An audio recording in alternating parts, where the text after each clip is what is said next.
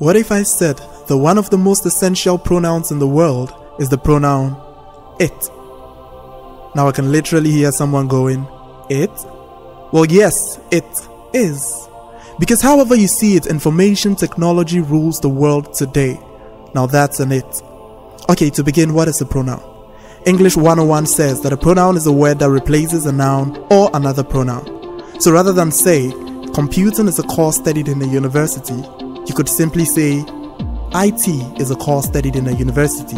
Or better put, it is a course studied in a university. Now that makes perfect sense and well, the pun was intended.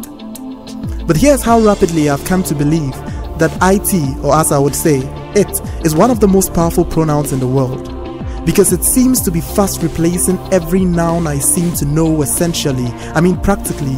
We used to write letters on notepads, well, those have been replaced by iPads. Our mailboxes have soon turned inboxes. Photo albums evolved into Snapchats and Instagrams. Banking has already gone mobile. Advertising is now digital. The media is now social. Even people are now artificial.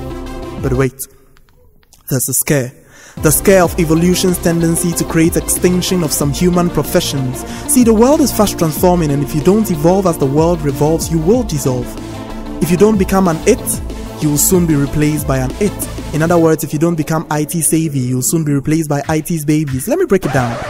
In a few years, the roads will be filled with self-driven cars, and that's a goodbye to drivers. Automated homes and CCTV cameras have got security under control. That spells goodbye to security guards. Ever heard of Amazon Go? It's another name for goodbye shop attendants. Information clerks? Siri works better and she doesn't even take a salary. Bartenders? You're at risk. Now that's a tip. Tourist guides? Ever heard of Google? Well, Google it. The list goes on and on and on, but the bottom line is this. If you don't get some of it into your skill set, I can bet you'll be replaced by it in the next bit.